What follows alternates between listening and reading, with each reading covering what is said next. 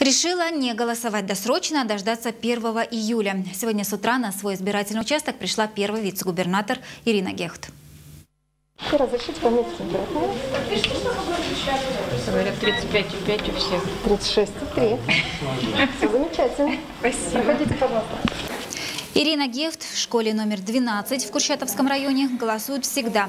По словам заместителя губернатора, поправки в Конституцию важны для всех. Именно поэтому уже с утра на избирательный участок пришли десятки горожан.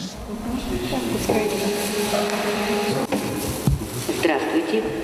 Бюллетень обработан. Спасибо. Для меня всегда с детства день голосования – это такой очень торжественный праздничный момент, и поэтому мне как-то не хотелось среди недели, вот именно 1 июля, как и озвучил президент о том, что 1 июля – это день голосования, почему-то не было сомнения, что именно 1 июля я пойду голосовать.